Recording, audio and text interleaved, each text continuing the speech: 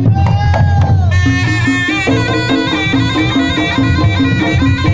you.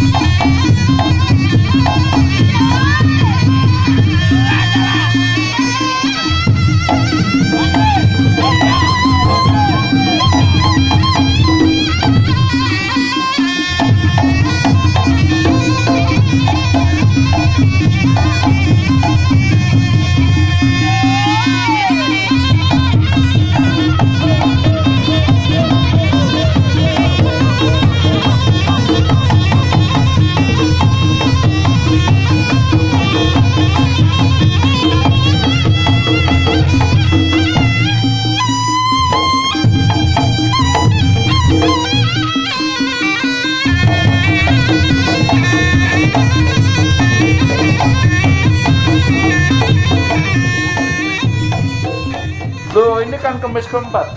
Kemis keempat kita kan menggunakan baju Nusantara. Dan ini kemarin waktu saya kunjungan ke Ponorogo diajak nari reog jadi cara saya pakai.